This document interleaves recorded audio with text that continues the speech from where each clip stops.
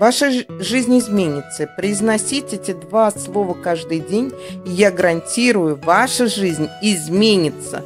Я это уже сделала и вам рекомендую. Эмиль Круз, автор теории самовнушения, французский психолог и фармацевт, он один из самых первых понял, что дело не в силе воли, а в бессознательных позитивных мыслях, которые нужно прокручивать вновь и вновь.